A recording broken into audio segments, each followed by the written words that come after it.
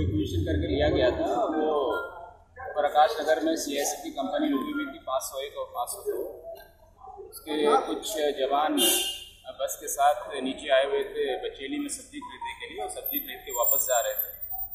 उसी दरमियान यहाँ से बचेली से करीबन आठ किलोमीटर ऊपर एक मोड़ है, उसके ऊपर नक्सलियों ने ब्लास्ट किया और इसमें गाड़ी चपेट में आने के कारण इसमें तीन सिविलियन की कैजुअलिटी और एक सी आई के जवान की बाकी दो इंजर्ड है जिनका इलाज यहाँ अपोलो बचेली हॉस्पिटल में चल रहा है और बेहतर उपचार के लिए इनको रायपुर से किया जा रहा है।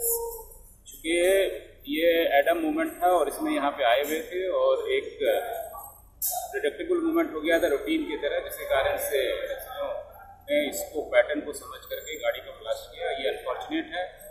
और चूँकि नक्सलियों के ऊपर काफ़ी दबाव बना हुआ है और इस एरिया में लगातार उनके विरुद्ध जो कार्रवाइयाँ हुई हैं और लगातार खिलाफ जो इनकाउंटर और जो गिरफ्तारियाँ हुई हैं, उसी से बौखला करके उनके द्वारा ये घटना की गई है।